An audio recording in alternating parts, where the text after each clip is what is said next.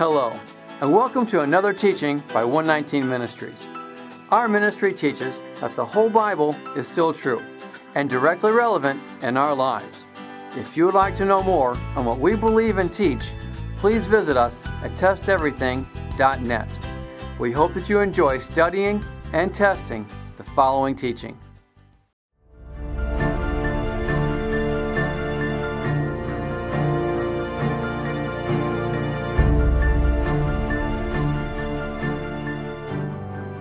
Come now, let us reason together, says Yahweh.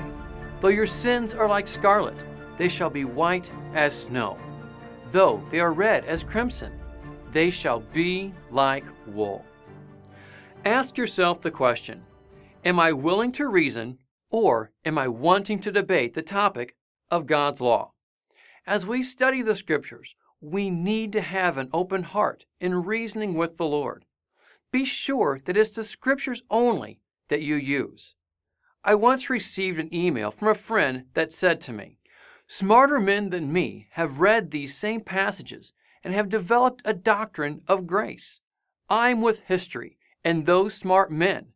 If what you suggest is what Scripture says, it means that two millennia of Christian theologians have missed it. Martin Luther missed it.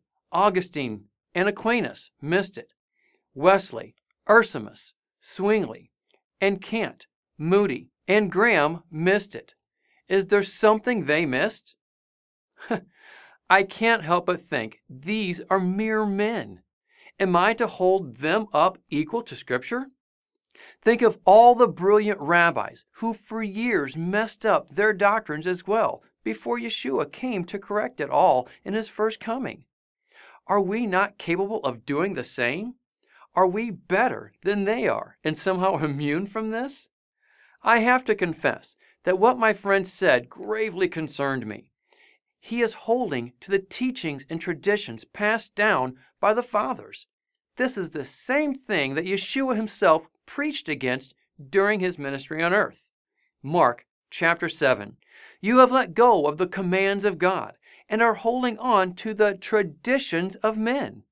And he said to them, you have a fine way of setting aside the commands of God in order to observe your own traditions. And in verse 13, thus you nullify the word of God by your tradition that you have handed down, and you do many things like that. Doesn't Scripture warn us of man's teachings during this time?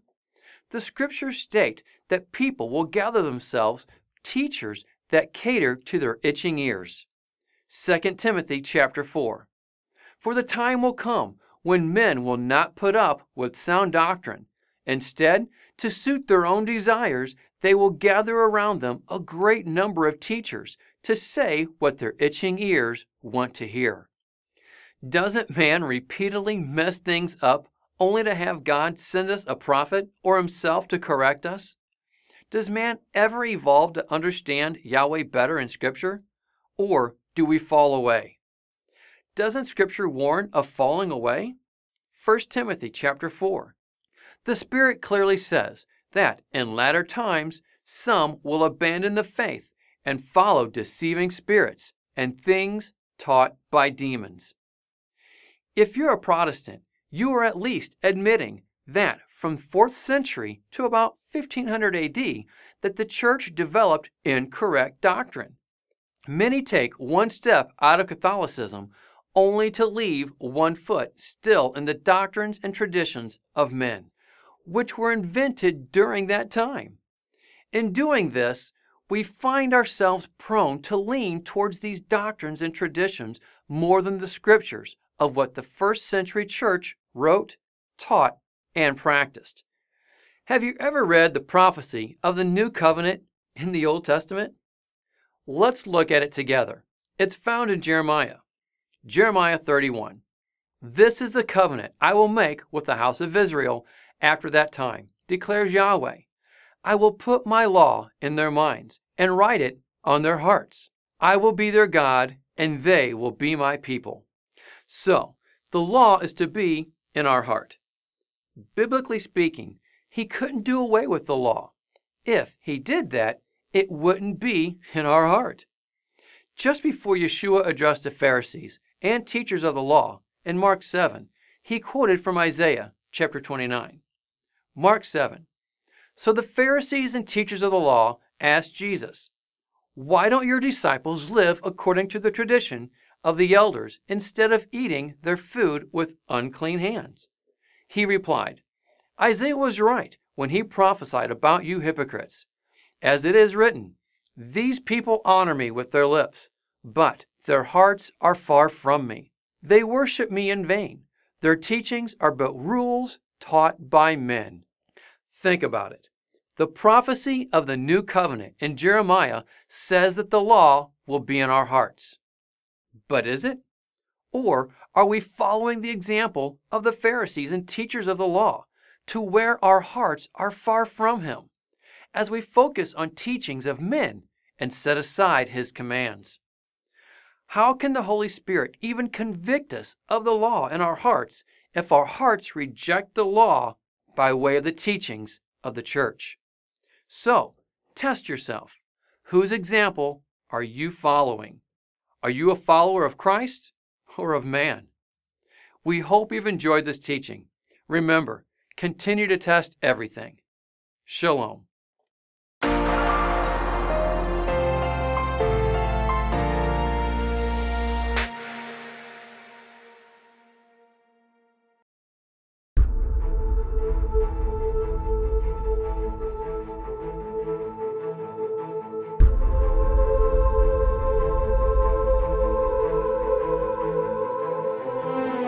The Apostle Paul, a proclaimed Pharisee turned champion of the faith, writing 13 letters which would later become the pillars of Christian doctrine. Millions today use Paul to teach the changing of the law of God, despite the fact that other scriptures declare something quite contrary to the common interpretations of his writings.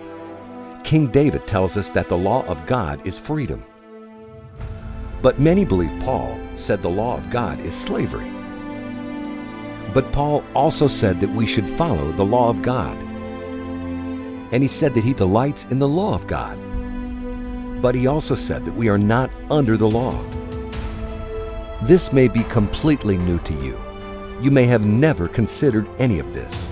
Welcome to the Pauline Paradox, a modern theological reality in which many turn a blind eye we confront this paradox head on and seek, once and for all, to understand the true Hebraic context in which his words were originally authored, to bring reconciliation to his words, regardless of the depth of this challenge. We discover that Paul stated that he followed the whole law of God and even taught the law of God. We show how Peter, a person who knew Paul better than any today, warned us of how Paul's writings regarding the law were difficult to understand and how his words are misunderstood easily. If one did not know the Old Testament well enough, even 2,000 years ago, Peter warned that misunderstanding Paul would cause one to break the law of God in ignorance. We find that even in the first century, Paul was constantly falsely accused of not keeping the law of God. We even see James defending Paul, proving that Paul kept and taught the law of God. This is all in the Bible. One of the keys to unlocking the context of Paul's letters is to have a proper understanding of the debates of the first century. In this series, we will cross reference several passages to reveal the ongoing dialogue which occurred between the parties involved. We show how Paul was constantly accused of not teaching the whole law of God, and when he was confronted with such accusations, he always claimed to follow and teach the whole law of God even to the point of paying for sacrifices at the temple to prove such accusations to be false. Does this all sound too crazy to be true? We implore you to test everything, to challenge your faith and seek truth, not tradition. The first teaching in the Pauline Paradox series is titled Is the Majority Ever Wrong? We address the first mental barrier, which is a misplaced confidence in the self professed doctrinal experts who claim to understand Paul's words. Then, in the teaching, The Paul You Never Knew, we reveal words of Paul that many never see, the real Paul, the Paul that kept and taught the whole law of God.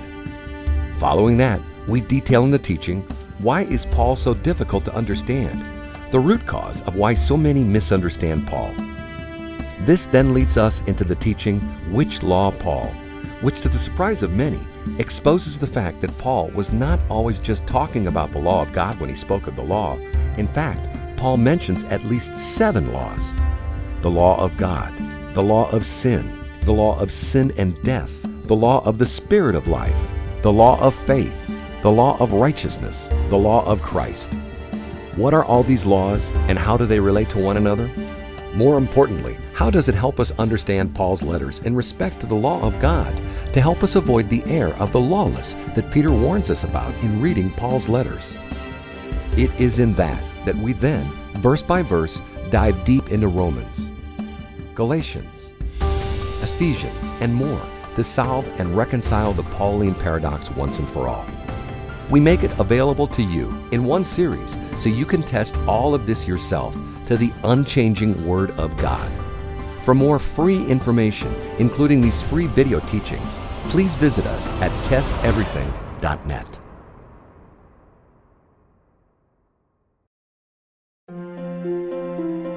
It is because of you, our generous supporters, who make it possible to offer these high quality teachings completely free of charge. Led to support 119 Ministries so that we can continue this effort, please visit testeverything.net and click on the Support 119 tab. Learn how you can partner with us to take the whole Word of God to the nations. 119 Ministries is now available in Roku, Apple TV, Google TV, Xbox Live, and more. You can now access dozens of free video teachings straight from your home television in the comfort of your home. If you would like to learn more, please visit us at testeverything.net.